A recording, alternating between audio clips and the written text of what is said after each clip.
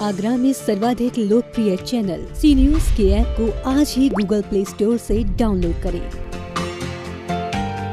भारत सरकार ने उपभोक्ताओं के हितों के संरक्षण के लिए उन्नीस सौ छियासी में उपभोक्ता संरक्षण अधिनियम पारित किया था, जिसका उद्देश्य प्रत्येक ज़िले में एक उपभोक्ता अदालत का गठन करना और उपभोक्ताओं को सत्ता एवं शीघ्र न्याय दिलाना था।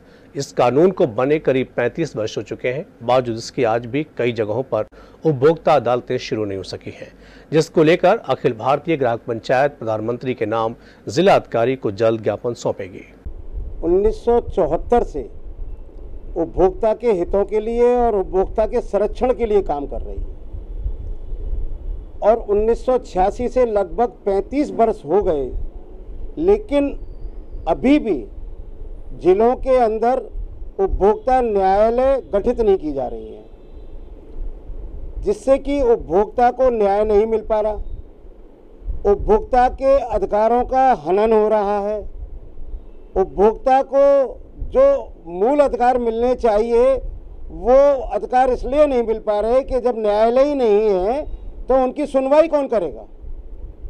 तो कहीं ना कहीं उपभोक्ता जो बाज़ार में ठगा जा रहा है, बाज़ार में लूटा जा रहा है या बाज़ार में उसकी अवहेलना हो रही है या उसको कोई वस्तु खरीदने के बाद, वस्तु खरीदने के बाद उसको जो है उसके संग धोखा हो रहा है।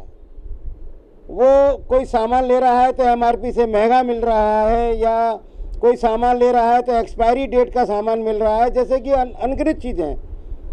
आजकल मेडिकल स्टोरों पर भी देख सकते हैं तो बहुत ही धोखाधड़ी का भी काम हो रहा है। ऐसी स्थिति में पेट्रोल पंप पर जाएँगे तो वहाँ घटतोली का काम हो रहा है।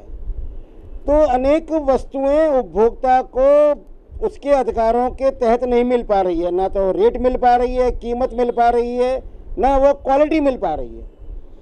और वो ये सोच रहा है कि मैं कहाँ जाऊँ, भटक रहा है, धोखा भी हो रहा है, लेकिन न्यायालय अगर बंद हैं, न्यायालय अगर नहीं खुली गई हैं, जो कि 35 वर्षों से ये उसके ऊपर गहरा बड़ा प्रहार है।